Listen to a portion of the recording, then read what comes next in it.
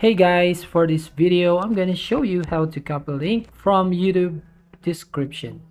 It's quite simple, you just have to follow this tutorial. So first, we're gonna find a video that has a link to the description.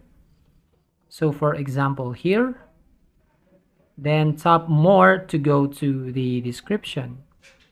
As you can see the link right here.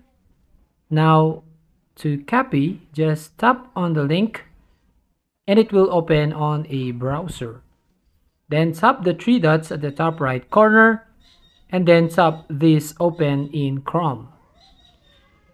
So when you open it in Chrome, it will show you the link from YouTube description right here at the search bar at the top. Then tap the link and then tap the share icon right here and finally tap this option copy link. Once you've done that, it will copy the clipboard and you can now share the link. That's all. Thank you for watching. Please like and subscribe for more videos.